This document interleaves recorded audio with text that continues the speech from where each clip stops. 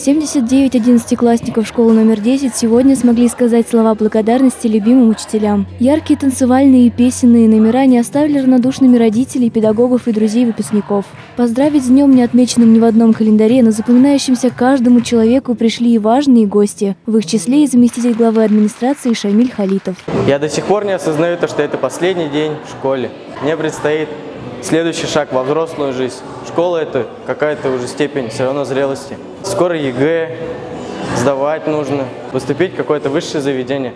С высшим заведением я еще не определился, но все же ЕГЭ покажет.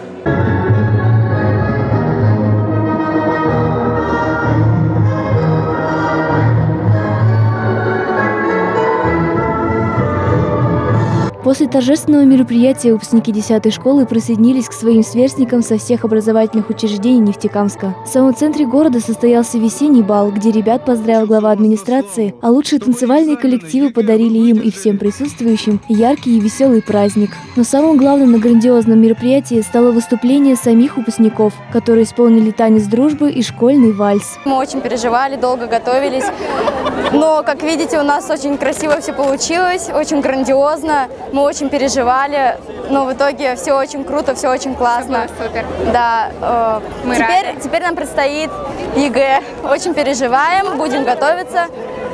Надеюсь, у нас все получится, все будет хорошо. Сегодня радостный, волнительный, но для меня лично, как для классного руководителя, очень грустный день. Я ребяток вела 7 лет, они для меня дороги.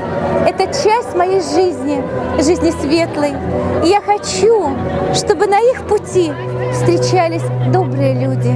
Как сегодня одна мама в напутствии сказала, чтобы среди людей быть человеком.